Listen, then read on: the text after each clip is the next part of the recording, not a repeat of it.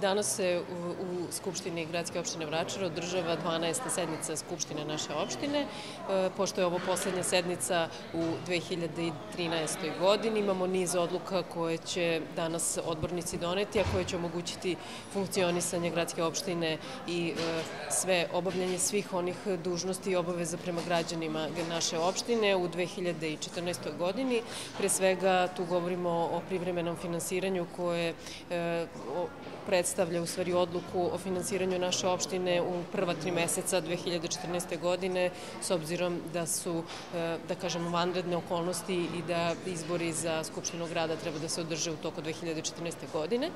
Zatim imamo niz odluka koje se vezuju za način finansiranja projekata iz oblasti e, kulture, sporta i finansiranja projekata nevladinih organizacija, odluke koje se odnose na naše tradicionalno nagrađivanje učenika, a takođe imamo i e, važnu odluku o reizboru zaštitnice građana Gradske opštine Vračar, tako da će ona nastaviti svoju funkciju e, u borbi za zaštitu prava građana Gradske opštine Vračar.